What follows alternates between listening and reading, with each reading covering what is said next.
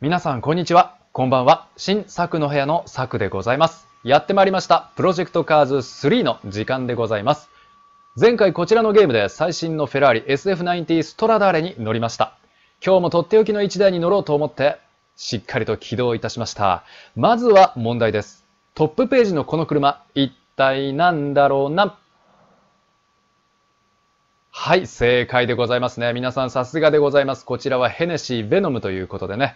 えー、まあ今日はこちらの車には乗りませんけども、世界最強のランボルギーニと言われたあの世界限定63台のランボルギーニに乗ろうかなと思います。それでは早速カスタムイベントの方に進んでいきましょう。車両ですね。こちらの、まあ、ヘネシー・ベノムは一応ダウンロードコンテンツということで今日は乗りませんがまたいつか乗ってみましょう。それでは前回予告した通り、ランボルギーニに乗ってみたいと思います。やってきました2020年最新のランボルギーニシアンフェルディナント・カール・ピエル37年ということで、今日はこちらの方に乗っていきたいと思います。かっこいいですね。はい。では、おー、色。めちゃくちゃかっこいいやん、色。はい。ということで、色ですね。これはあれですね、シアンロードスターとかで使われてた色まんまですね、これね。めちゃくちゃかっこいいやん、これ。ブレーキキャリパーがいろいろ色変わるんですね。あ、変わらない？赤。あ、ほら、これだったらブレーキキャリパー黒になる。デザイン結構合わせるんだね。皆さんどれがお好みですか？次やばいな。うーわ、めちゃくちゃかっこいいやん。これ白と黒のツートンで赤のキャリパー。これは完璧いいのですね。そしてルーフの部分はカーボンでしょうか？黒でしょうか？いやー、素晴らしいじゃないですか。次は、はい、63というステッカー入っておりますね。ブレーキキャリパーも蛍光色に変わりましたね。すごいね。めちゃくちゃ綺麗。あ、でもこれもいいね。でもこの色のシアンってあまり見ないだろうな、多分。ゴールド。これもかっこいいですね。いやいやいやいや。きあ、これすごいセンス良くない？これ。トリコロール入ってるよ。黄色にトリコロール入って、サイドにもフェンダーのところずーっとトリコロール入って。え、すごいね。これもセンターロックゴールドで、えー、ホイールがゴールドかな？これは。で、ブレーキキャリパー赤ということで。うわこれだけあるんだね。すごいかっこいいやん、これ。どれにしよう。でもなんか、イメージカラーで言えばこれですもんね。ランボルギーニシアンのイメージカラーはこれですから、まあ今日はこれでいこうかなと思いますね。はい。今日これ、僕運転席とか見るの初めてですからね。これ相当楽しみですね、これ。はい。後ろとかもうすごいことになってますからね。これはもうオールカーボンみたいな感じになってますね。はい。えー、では、まあこちらもちろん買ったわけではないダウンロードコンテンツですから、多分これは、あれですよね。ガレージとかで見れるんですか？これ。ダウンロードコンテンツということは、あくまでもカスタムでしか乗れませんよね、多分ね。さあ、ではですね、次はコースの方に行きたいと思いますが、えー、コースなんですけども、最初は、まあ、オーバルコース走ろうかなと思ったんですけども、いや、それはつまらんやろうということで、普通に日本のあのコース走りたいと思います。しかしながら、一方のコースはですね、大人の事情で少し名前が違うんですね。風景も全然違います。なので、実在するコースの方を今日走ってみようかなと思います。本当は鈴鹿走りたいんですよ。鈴鹿走りたいんですけども、このプロジェクトカーズ3は鈴 サーキットなので、えー、大人の事情ということで、今日は富士の方に行きたいと思います。行こうぜ富士スピードウェイで走りましょう。設定5周でいいですよね。5周で対戦相手20。これはもう、えー、前回の SF90 ストラダーレと一緒で、えー、とりあえずはね、ドライブということになります。ちなみにこのカラーは多分シアンロードスターのイメージカラーですよね、これね。えー、ロードスターは確か19台限定です。63台ではなくて、えー、ロードスターは19台ということで、えー、日本に入ってくるんですかね、本当見てみたいですね。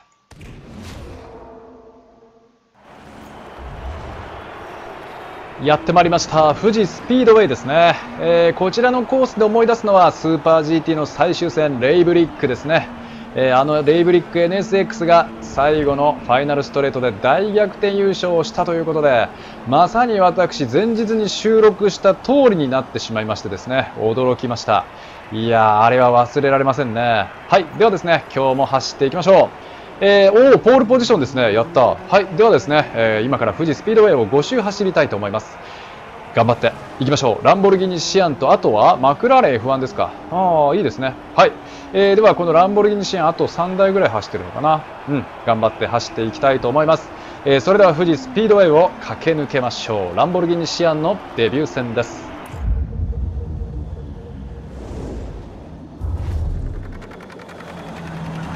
いやかっこよかったやん。いいね。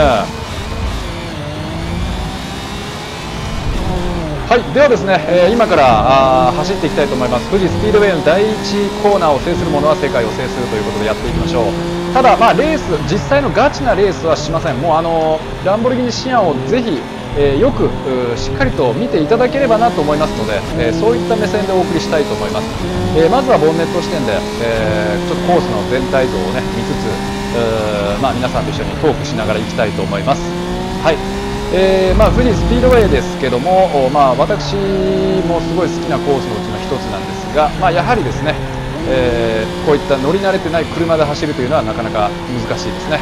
えー、ちなみに先ほどですね、えー、ランボルギーニのシアンの後 FKP ということで、え、まあ、フェルディナント・カール・ピエヒということで言いましたけども、えあの方は実は人物ですね。人の名前です、えというのも当時のボルクスワーゲンの会長の名前でありまして、まあ、その昔というかその当時ですね、えランボルギーニが倒産寸前だった時期があったわけです。その倒産寸前のランボルギーニを買収して救ったのがおいおいおいちょっと待って待って。いい話してる時に今ちょっと今普通に突っかえたな。普通に押し込んできたね君。やってくれるね同じランボルギーニなのにね。おいおいおい。はいということでまあそういった感じでねあの倒産寸前だったランボルギーニを買収したんですよねフォルクスワーゲンが。でそれでまあ今のランボルギーニがまあここまで復活してすごいあの伝説的な人物なんですね、えー、その方のその方に敬意を表して、まあ、作られたのがこちらのランボルギーニシアンということになります。でその37という数字に関してはそのピエヒさんが生まれた年ということになりますね、えー、まあ、よくこういう数字っていうのは、まあ、限定車とかにも使われるんですけどもあその63台限定の63っていうのは要はランボルギーニの創業の年1963年の63に、まあえー、まつわる数字ということになりますね。はい。ロードスターの19っていうのは何だろうね19、19はちょっとわからんね。19おいおいいいオーバーテイクやな君。よっしゃでは、えー、ごめんなさい。2周目もこちらで行って3周目をあれにしましょう、えー、3人称視点でいきたいと思います。3周目3人称視点でいきます。で、えー、4周目5周目を運転席視点でいきたいと思います。はいそんな感じでいきましょう。まあ、これに関してはね運転席しても私見たことがないのでかなり楽しみですね。早く3人称視点を終わらせたい。というか3人称視点しなくても前がシアンですからもうこれでいいんじゃないかと。SF90 ストラダーレの時も同じこと言いましたけども。それでいいんじゃないかと思うぐらいですね。はい。でプロジェクトカーブ3のあるあるなんですけど私個人的なあるあるですがシフトアップをいつも忘れます。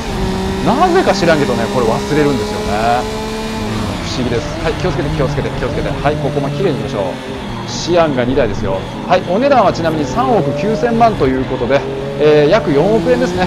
うん。今先頭1と私2で8億円が走っています。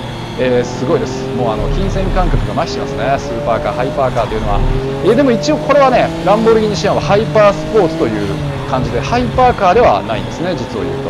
はい、これで、よし、ここでイン取れる、イン取れる、よし、いいよ、はい、OK、ありがとう。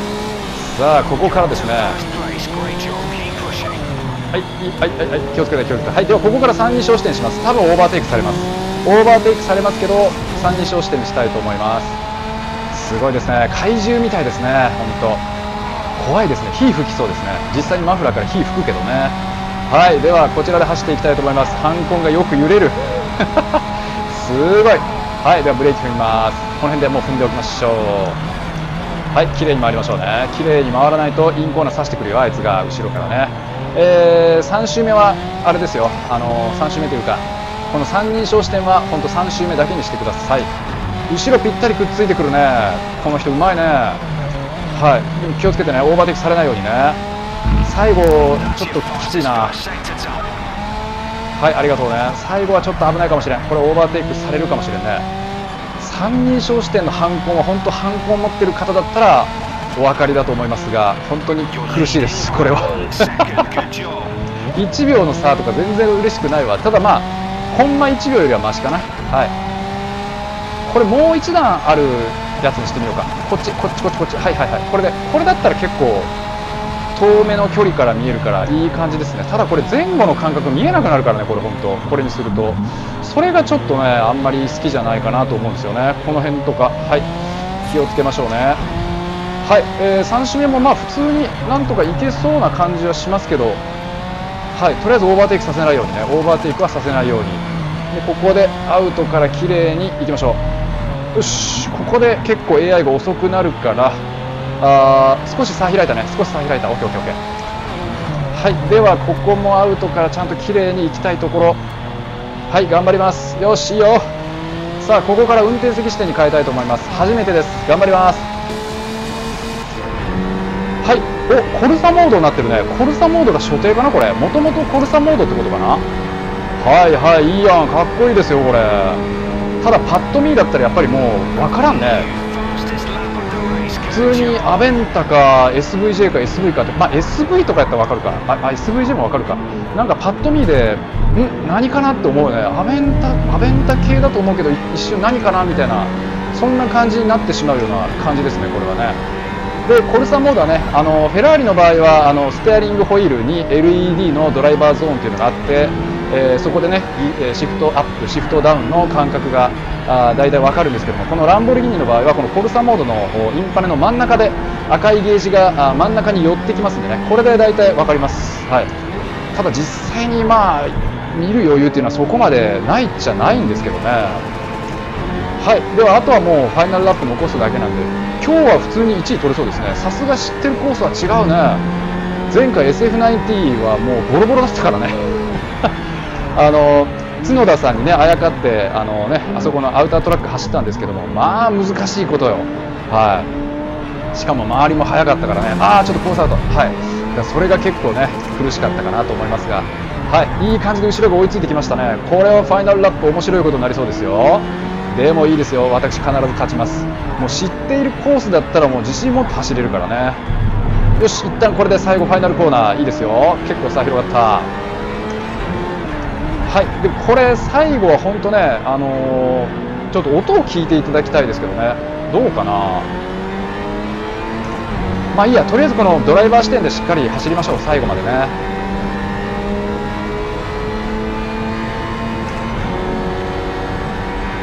はい。もうほぼほぼ多分優勝は確定だと思います。多分大きなミスさえしなければあ十分優勝確定ですね。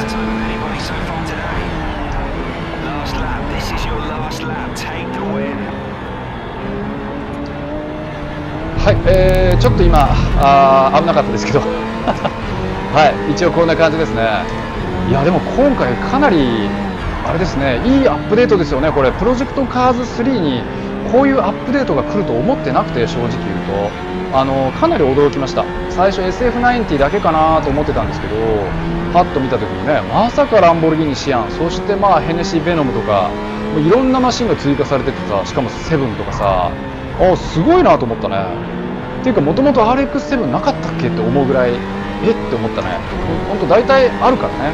うん。なんかそんな感じでちょっと驚きましたけども。まあまあそれはまあ置いといてですね。とりあえずはまあこれしっかりと乾燥してクリーンに乾燥していい感じじゃないですか？ランボルギーニシアン。はい。SF90 もう一回やり直したいぐらいですね。はい。よしいいやいいやん。これぞランボルギーニシアンと言いたいところだが多分一生見ることなさそう。多分一生見んだろうなこれ。普通オーナーさん走らします？これ。公道走る？まあ僕だったら、まあ、みんなに見てもらいたいから公道走るけどね。サーキット走らんね。これクラッシュしたら終わりだからね。4億円が。はい。さあということでこれで最後ファイナルストレートでございますね。ここはまあ最後綺麗に、えー、ゴールしてもらいましょう。はいありがとうございます。これで勝ちました。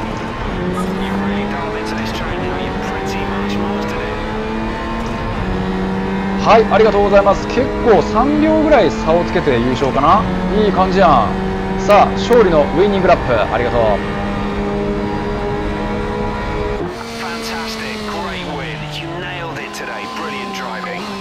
いやとりあえず SF90 ストラダーレでも富士か鈴鹿走ればよかった。本当に。本当にそれ思うわ。はいでは続行でございますね